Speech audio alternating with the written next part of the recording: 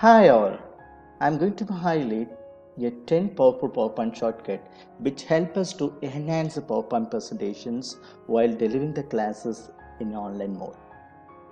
The first shortcut which I'm going to be highlight now change the pointer to laser point. While delivering the classes in the real classrooms, we are using some kind of pointer to specify the point.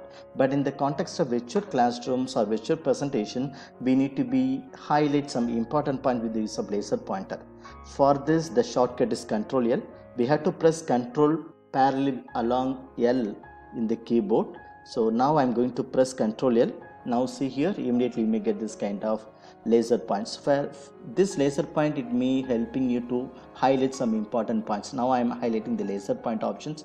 I am highlighting the pointer. I am highlighting the change word. So in this manner we can use the laser point options while delivering a classes so for this the control l is a shortcut. The second shortcut now I'm already connected with the laser point. Suppose I want to convert the laser point to normal cursor mode or arrow mode. For this the shortcut is control A. Now see here now you are seeing my laser point view laser point only. Now I'm going to be convert the laser pointer into arrow mark or a cursor mode control A. So once I click the control A you are seeing the arrow buttons. So this is a way we can shift the laser point to the arrow. I move to the third shortcut how to change the pointer to pen. While delivering the lecture through the online mode, we need to be write something in the whiteboard or a blackboard. But in the context of PowerPoint, there is a pen options. We can write it directly with the pen option, the slide itself. For this, the shortcut is Control P. You can press Control and P together. Then you may get the pointer option. See here, I am getting small pointer option. There I am writing like math. You can write what are things you want to write. You can write if you want to be round it you can round it. Suppose you want to change the color of the pen you can go to the the down helper menu the left side. Here you can find out the lot of pen colors. Which color you want you can select the pen color. So the control p is a shortcut for change the pointer to pen. This is the third shortcut which we discussed now. The fourth shortcut uh, like a highlighter. Suppose while you're presenting, you want to highlight some important points. Like when you like a bookmarking, when you uh, read some important things in the books, you know, we are using some kind of highlighter to mark these things. The same manner in the PowerPoint, while delivering, if you need to be highlight some important points, we can use the highlighter options. Further, we have to go with shortcut Control I. Automatically, that highlighter comes. Now I'm highlighting the important points so this is way we can use the highlighter options. Now I move to the fifth shortcut change the pointer to eraser. So we already knows the the shortcut for pen control P. Just I'm writing something and just draw something and just uh, making some kind of um, marking here. Suppose I want to erase this one. For erasing these things we can go the down helper menu. Instead of that there is a shortcut control E. Once you give the control E, automatically the pen it may convert as a rubber. Now see here this is an eraser may comes. There you can be erase which are things you don't need. So in this manner we can change the pointer as the eraser. So control E is for shortcut for change the pointer to eraser. The next shortcut show hide for the ink markup.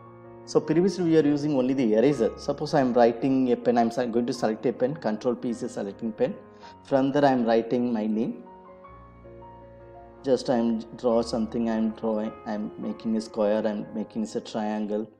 So here I make it say four kinds of annotation I made. For erasing we can go with control E. But if you want to hide the entire annotates, a single click control M is a shortcut. If I click Control M, it may hide. Once again, I want to open the same annotate which I made it previously. We can click once again Control M, then it may come. So I'm going to press Control M. Now it will be hide. Once again, I'm going to press Control M. Now it will be show the annotates. So this is way uh, we can show and hide the markup while delivering the online classes. The next important shortcut which I'm going to talk to you is view a task bar.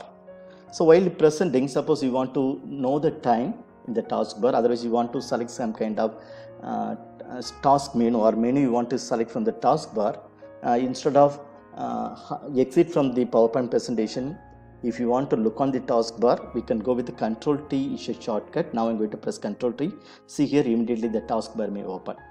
If you want to uh, hide the taskbar you can keep the cursor in somewhere automatically may goes so this way we can view the taskbar uh, with the use of control T the next shortcut which I'm going to talk to you is called blackboard while presenting if you want to open a blackboard screen or a blank screen for writing something you can go with small press of B. So in the keyboard you can press B automatically the entire presentation may come as a black color screen. Now see here the black screen.